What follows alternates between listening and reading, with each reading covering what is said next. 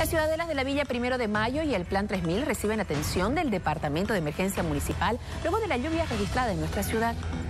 Tenemos alrededor de 20 reportes eh, eh, solicitados aquí a nuestra central de emergencia y para ello es importante que sepan que el gobierno municipal viene trabajando desde muy tempranas horas con diferentes grupos de primera respuesta, tanto maquinaria pesada, cisternas, el equipo de emergencia de esta secretaría. Estamos ya activados. Tenemos dos equipos trabajando, uno en la Villa Primero de Mayo y otro equipo que está trabajando en la zona del Plan 3000. Tenemos una camioneta que está haciendo el monitoreo correspondiente en diferentes puntos de la ciudad,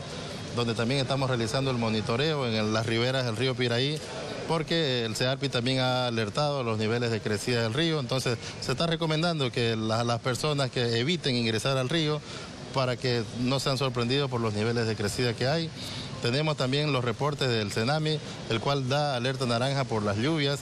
que esto eh, se, va a pues, pronosticar desde el día de ayer hasta